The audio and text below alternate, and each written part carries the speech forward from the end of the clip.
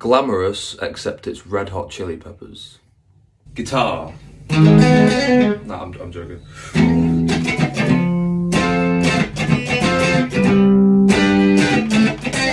Bass.